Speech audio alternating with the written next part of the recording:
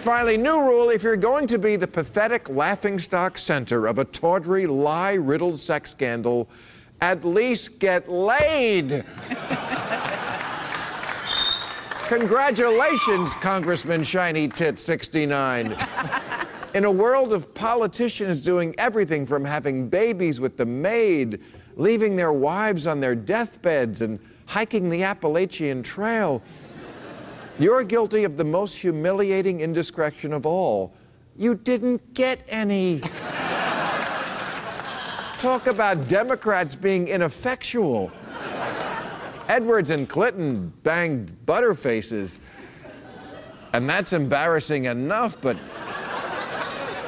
you just came up with your hand. Your name shouldn't even be Wiener. You don't deserve it. Wieners are for closers.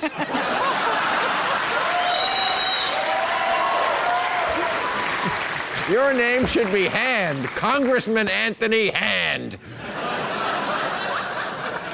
now, on, on Monday at his press conference, Congressman Weiner was talking about his online flirtations, and at one point, he ejaculated, They are all. A... It's a word, people. They are all adults, at least to the best of my knowledge. Oh, Anthony, it's the internet. There's no such thing as the best of your knowledge. You know that naked co-ed you've got on the line, the one with the tits that just won't quit? This is her.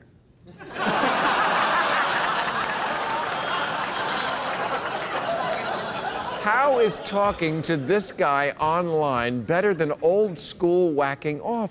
I mean, say what you want about a box of Kleenex in the July Playboy, but when you finish, it doesn't call Andrew Breitbart.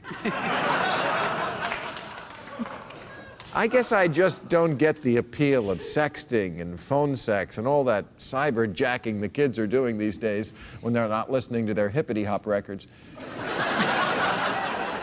Call me old fashioned, but when I have sex, I like to have the other person in the room. I find that it helps create a feeling of intimacy. People say, Bill, don't knock phone sex till you've tried it. I've tried it. True, it was with a customer service rep from the gas company, but still, I gave it a shot. And you know what? It's not sex. It's not even a little bit like sex. It's just talking. Even during actual sex, talking is fairly superfluous. Saying, do me, do me, when I am at that very moment doing you, is neither helpful nor essential to the overall